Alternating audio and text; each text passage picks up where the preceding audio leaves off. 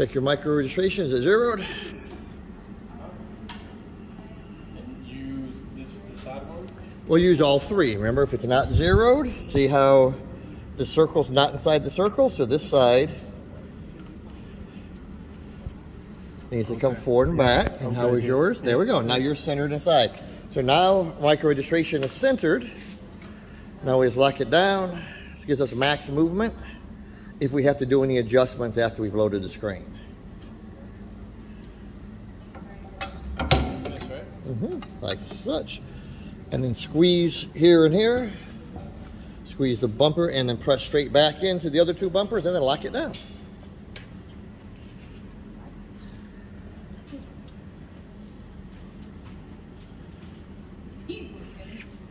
Uh,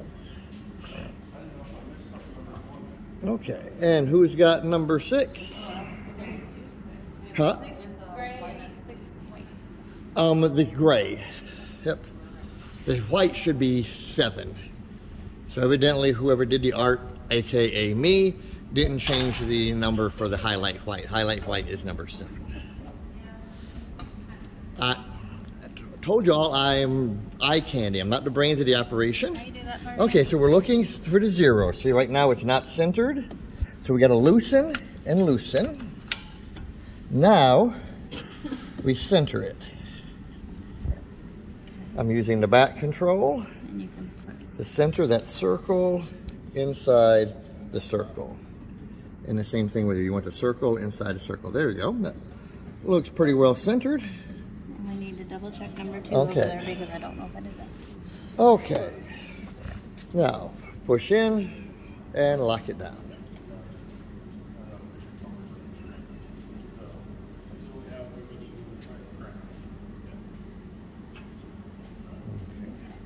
All right, lift the screen up, flip it around, and we'll go to number seven, highlight white.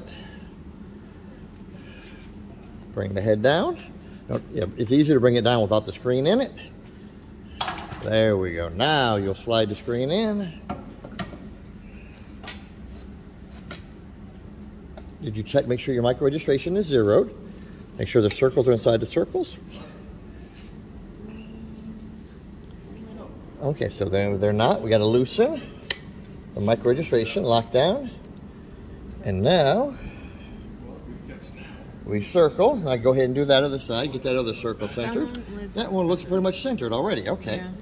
So we lock the micro registration back down. That just gives us maximum movement. Now squeeze there, push in, and then lock it down.